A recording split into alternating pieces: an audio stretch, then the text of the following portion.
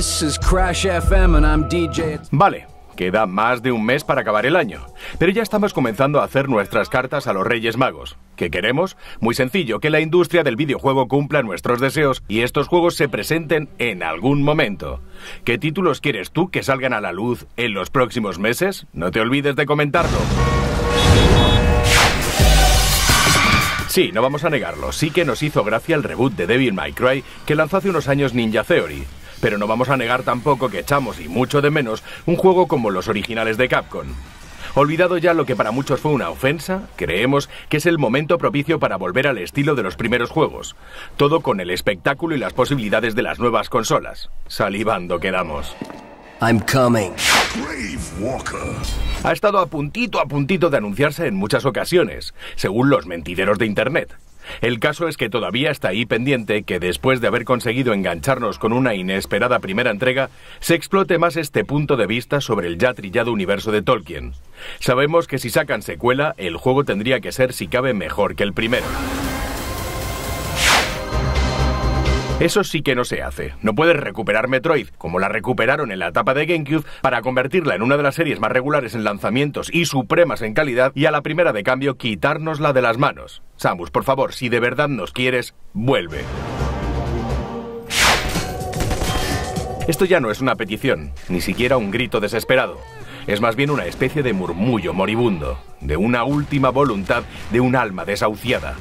Ya hace tiempo que perdimos la ilusión que teníamos de que los chicos de Cave Newell volviesen al camino original y nos regalasen algo como Half-Life 3. Cuando compréis 800 juegos por 10 euros en las próximas rebajas navideñas de Steam, que sepáis que estáis poniendo un nuevo clavo en la tumba de Gordon Freeman. Mientras la plataforma sea negocio, no parece que les vaya a apetecer ponerse manos a la obra.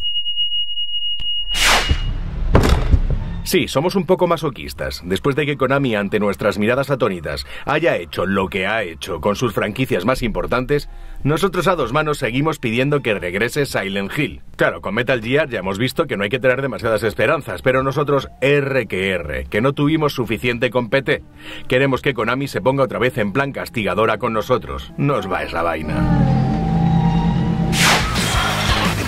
Con Tony Hawk desterrado del planeta videojuego tras unos desastrosos últimos lanzamientos, al skate, que fue temática popular en la era PlayStation 2, solo le queda una esperanza. Un bastante improbable Skate 4 sería la pera para todos los aficionados a las tablas, como a todos los que quieran rellenar aún más las videogalerías de caídas de YouTube. Eso sí, somos conscientes de que hoy por hoy parece bastante improbable que un juego así entre dentro de los planes de la actual Electronic. Este es uno de los pocos que de verdad sí que esperamos que se anuncien este año. Tarde o temprano este anuncio tiene que llegar. Como siempre supimos que tarde o temprano llegaría el de Red Dead Redemption 2. Ahora, ¿estará a la altura de lo esperado? ¿Nos gustará tanto como el original? ¿Cómo se encontrará esta mañana el bueno de Neil Druckmann? Esperamos el anuncio, pero tenemos tanto miedo de que algo salga mal. Bueno, puede parecer pronto para una cuarta entrega, conociendo los tiempos de Blizzard, pero estamos haciendo un poco de trampa. La anterior entrega se presentó como cuatro años antes de salir al mercado. Vale, si se presentase en 2017, un nuevo capítulo no esperamos jugarlo hasta 2022, como poco. Y eso sí que cuadra un poco con los plazos de entrega de la compañía norteamericana. Aunque teniendo en cuenta que Diablo 2 salió 12 años antes que el tercero, tal vez al anuncio que esperamos todavía le queden un par de añitos. Otro sueño imposible, una quimera que parece difícil de alcanzar. Vamos a ver, por mucho que prefiramos Burnout antes que Need for Speed, dentro de las dos series la pudiente y de buena familia era la segunda, y hoy en día no tiene suficiente tirón como para estrenar capítulo por año, como sucedía la década pasada.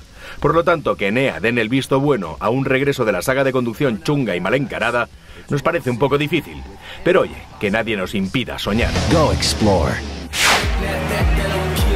Necesitamos tenis y no nos importa si viene de Sega o de 2K. Nos da igual.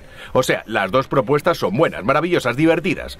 Ahora parece que el hecho de que estemos soñando con un anuncio en este sentido viene dado por la cada vez más baja repercusión en ventas de estos juegos. Por lo que con total seguridad sus anuncios no vayan a llegar demasiado pronto. Da igual, nosotros se los pediremos a los astros si es necesario. Y hasta aquí todo por hoy. Próximamente más vídeos en Banda Televisión. Te esperamos. Working on you makes me stronger. Man, I've been waiting all night, man. That's how long I've been on ya.